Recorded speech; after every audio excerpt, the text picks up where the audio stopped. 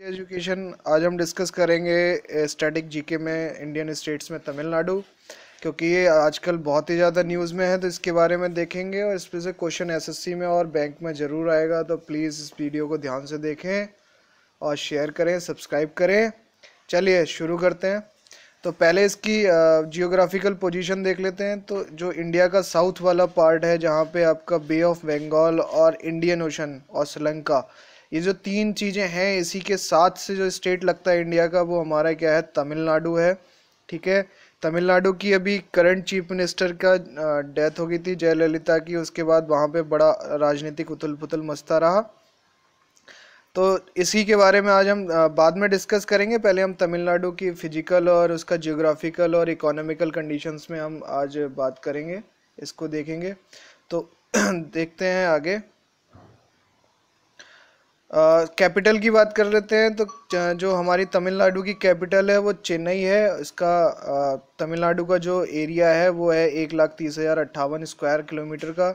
इसके neighbouring state की अगर बात करें तो नेबरिंग स्टेट फिर से एक बार दिखा देता हूँ मैं आपको नेबरिंग स्टेट कौन कौन से हैं।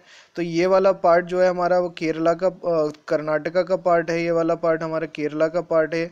और ये जो है आंध्र प्रदेश है, ऊपर की तरफ़। इस तरफ़ हमारा बे ऑफ़ बंगाल है, नीचे की तरफ़ हमारा इंडियन ओशन है। और साइड में हमारा जो श्रीलंका के साथ जो खाड़ी लगती है, उसको हम बोलते हैं मन्नार की खाड़ी, अगर आपने पढ़ा हो। ठीक है? तो और पुडुचेरी यूनियन टेरिटरी है छोटा सा जो इस तरफ़ बे ऑफ़ बंगाल की तरफ़ है छोटा सा यूनियन टेरिटरी इस तरफ़। ठीक? तो कुल मिला के इसके जो नेबर स्टेट हैं, वो कर्नाटका, केरला, आंध्र प्रदेश और यूनियन टेरिटरी में पुडुचेरी। और ओशंस की बात करें तो इंडियन ओशन इसके बिल्कुल साउथ में है। और इसके ईस्ट साइड में हमारा बे ऑफ़ बंगाल है और श्रीलंका है इंटरनेशनल और आगे देख लेते हैं कि यहाँ की पॉपुलेशन जो है 2011 के अनुसार यहाँ की जो पॉपुलेशन है वो है सात करोड़ इक्कीस लाख सैंतालीस हज़ार तीस और जिसमें से मेल जो है वो करीब तीन करोड़ इकसठ लाख सैंतीस हज़ार नौ सौ पचहत्तर और फीमेल जो है हमारे वो छत्तीस तीन लाख साठ हज़ार। ठीक है, अगर सेक्स रेशो की बात करोगे तो यहाँ का सेक्स रेशो काफ़ी हेल्दी है, पर थाउज़ेंड पीपल में से नाइन नाइन सिक्स यानी नौ सौ छियानवे महिलाएँ हैं, ठीक है लिटरेसी रेट यहाँ का काफ़ी अच्छा है एट्टी परसेंट का लिटरेसी रेट है, और यहाँ पे जो मेल का लिटरेसी रेट है वो एट्टी सिक्स परसेंट है और फीमेल का लिटरेसी रेट लिटरेसी रेट जो है या फिर शिक्षा की बात करें तो वो सेवेंटी फोर परसेंट है लगभग। आगे की बात कर लेते हैं कि एक्चुअली में तमिलनाडु फॉर्म कब हुआ था? तो जब हमारा देश आज़ाद हुआ था 15 अगस्त उन्नीस सौ सैंतालीस को तो ये जो तमिलनाडु का पहले नाम था मद्रास प्रोविंस था इसका नाम तो ये आंध्र प्रदेश का पार्ट हुआ करता था। आंध्र प्रदेश से फिर उन्नीस सौ छप्पन में ये अलग हो गया और लेकिन उस समय उसका नाम फिर भी मद्रास था। लेकिन फाइनली 14 जनवरी उन्नीस सौ उनहत्तर को यानी 14 जन 1969 को इसका रिनेम कर दिया गया एज अ तमिलनाडु, ठीक है? लेजिस्लेटिव बॉडी की बात करें, चुनाव प्रक्रिया की बात करें, क्योंकि भारत एक संवैधानिक देश है, या कॉन्स्टिट्यूशनल कंट्री है तो यहाँ पे चुनाव बेसिक लेवल से स्टार्ट होते हैं। तो यहाँ पे अगर विधानसभा की सीटों की बात करें स्टेट असेंबली की बात करें तो दो सौ चौंतीस सीटें हैं, ठीक है? लोकसभा की बात करें, लोकसभा में यहाँ पे थर्टी नाइन है और राज्यसभा में यहाँ पे एटीन सीटें ठीक है? यहाँ पे जो मेन लैंग्वेज है वो तमिल है, ठीक है? और यहाँ का जो हाई कोर्ट है, चेन्नई का जो हाई कोर्ट है, वो तमिलनाडु का जो हाई कोर्ट है, वो चेन्नई में है, जिसका आज भी नाम बेंच है मद्रास के नाम से। ठीक है? ओके? अगली बात करते हैं, रिवर्स की बात करते हैं। अगर आप करंटली अगर न्यूज़पेपर पढ़ते हैं तो यहाँ पे एक रिवर के बीच में, दो स्टेट में काफ़ी झगड़ा चल रहा है। एक आपका कर्नाटका और तमिलनाडु के बीच में कावेरी का विवाद चल रहा है। कावेरी का जो पानी है, उसको डिवाइड करने की बात हो रही है तो उसको किस बेसिस पे डिवाइड करें, इस पर बड़ा विवाद चल रहा है। तो ये जो हमारी रिवर है ये कावेरी है, इसमें कुछ इसकी ट्रिब्यूटरी भी है ठीक है? तो रिवर इसमें तमिलनाडु में जो सबसे मेन इंपॉर्टेंट रिवर है रिवर है वो कावेरी है। बाकी तो इसमें कई कई सारी रिवर हैं, जैसे चेयार है और आपकी बेगल रिवर है। तो ये ये ज़्यादा इम्पोर्टेंट नहीं है, लेकिन जो कावेरी रिवर है वो बहुत ज़्यादा इम्पोर्टेंट है यहाँ पे। ठीक है? ओके और अभी हम माउंटेन एरिया की बात कर लेते हैं कि माउंटेन एरिया कौन कौन से हैं, देखते हैं। जियोग्राफिकल आप मैप देखेंगे तो यहाँ पे सबसे ज़्यादा जो आप बिल्कुल इसके बेस्ट में देख रहे होगे तो नीलगिरी की पहाड़ियाँ हमको दिखाई देंगी यहाँ पे। ये नीलगिरी की पहाड़ियाँ हैं, ठीक है? और इसमें जो एक एलिफेंट हिल है अन्ना मलाई अन्ना मलाई जिसको बोलते हैं, जिसको अगर आप उसका ट्रांसलेशन करोगे तो उसको एलिफेंट हिल बोलते हैं। ये भी तमिलनाडु में ही है, क्योंकि एसएससी ने लगातार दो बार सवाल पूछा था अन्ना मलाई के ऊपर। कि अन्ना मलाई एक बार अन्ना मलाई का मतलब क्या होता है, दूसरा अन्ना मलाई एक्चुअली कहाँ पे है, ठीक है? तो इसके बारे में आपको याद रखना है। बात कर लेते हैं डिस्ट्रिक्ट यानी पॉलिटिकल मैप की इसके। तो पॉलिटिकल मैप के अकॉर्डिंग जो तमिलनाडु है, उसमें थर्टी टू हमारी डिस्ट्रिक्ट्स हैं, ठीक है? थर्टी टू डिस्ट्रिक्ट हो जाएँगी। हमारी तहसील जो है यहाँ पे दो सौ सोलह है, ठीक है? ग्राम पंचायत यहाँ पे बारह हज़ार छः सौ बत्तीस हैं। विलेजेस जो है, यानी गाँव है, यहाँ पे सोलह हज़ार दो सौ अठहत्तर है। जो अर्बन टाउन है यहाँ पे, ठीक है, वो आठ सौ बाईस हैं। और यहाँ पे अगर मेन टाउन की बात करो तो वैसे तो तमिलनाडु घूमने का बहुत अच्छा प्रदेश है। यानी टूरिज़्म यहाँ का काफ़ी हेल्दी है, क्योंकि यहाँ पे बहुत सारे मंदिर हैं, गुफाएँ हैं यहाँ पे, ठीक है। और हनीमून प्लेसेस जैसे ऊटी जो है, यहाँ का बहुत ही फ़ेमस हनीमून प्लेसेस है यहाँ के लिए, ठीक है। तो ऊटी जो है हमारा तमिलनाडु में इसको याद रखेंगे। तंजावुर और कांचीपुरम यहाँ पे बहुत सारे मंदिर हैं कोयम्बटूर ठीक?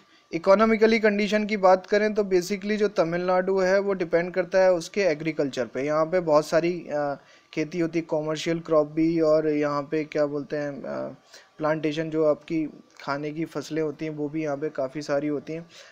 तो इसको इसके बारे में डिस्कस कर लेते हैं।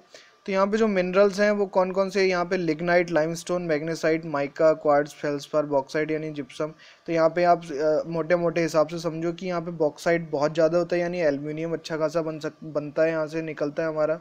लाइम स्टोन यानी चूना यहाँ से बहुत ज़्यादा निकलेगा। मैग्नेसाइट यानी आयरन का ओर है तो आयरन मतलब यहाँ पे अच्छा खासा मिलेगा आपको। ठीक है? इंडस्ट्रीज़ की आप बात करोगे तो यहाँ पे मोटर इंडस्ट्रीज़ काफ़ी हैं, जैसे फोर्ड है हुंडई है हिंदुस्तान मोटर्स है, ठीक है? टेक्सटाइल इंडस्ट्रीज़ भी है कॉटन टेक्सटाइल इंडस्ट्रीज़ भी यहाँ पे बहुत ज़्यादा हैं।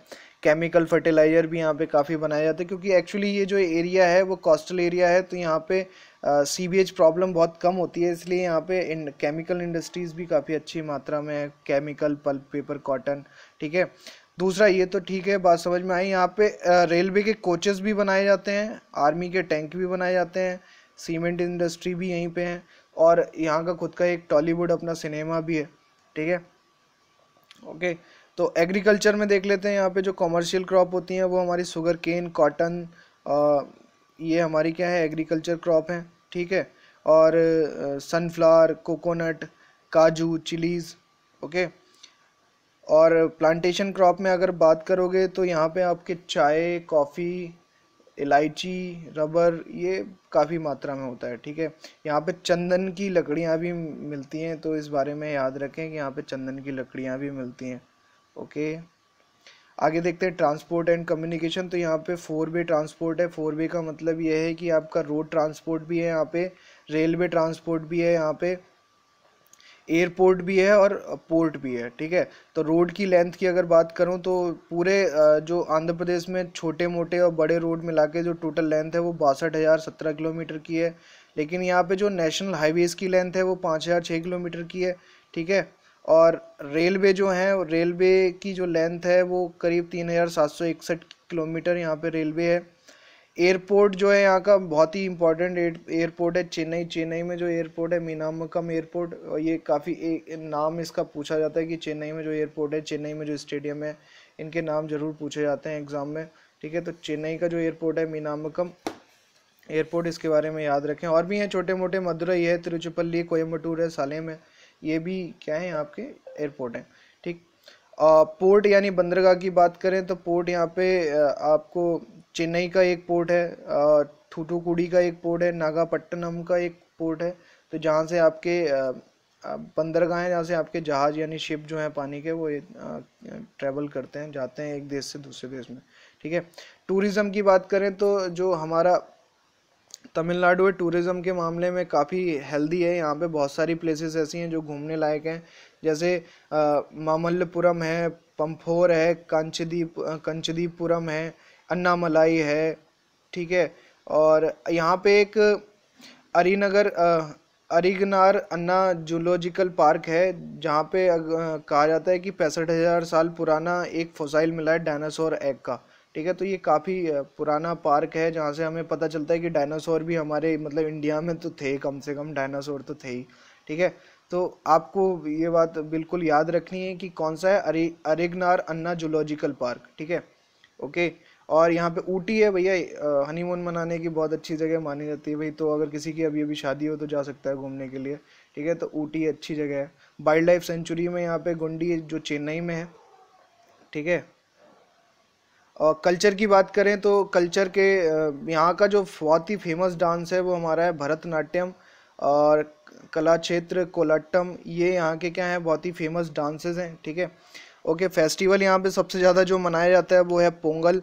पोंगल यहाँ पे काफ़ी मनाया जाने वाला फेस्टिवल है ओके तो ये ये तो था हमारा तमिलनाडु के बारे में जो मेन मेन इंपॉर्टेंट फीचर्स थे वो मैंने आपको बता दिए। एग्ज़ाम में इन्हीं में से क्वेश्चंस बनते हैं।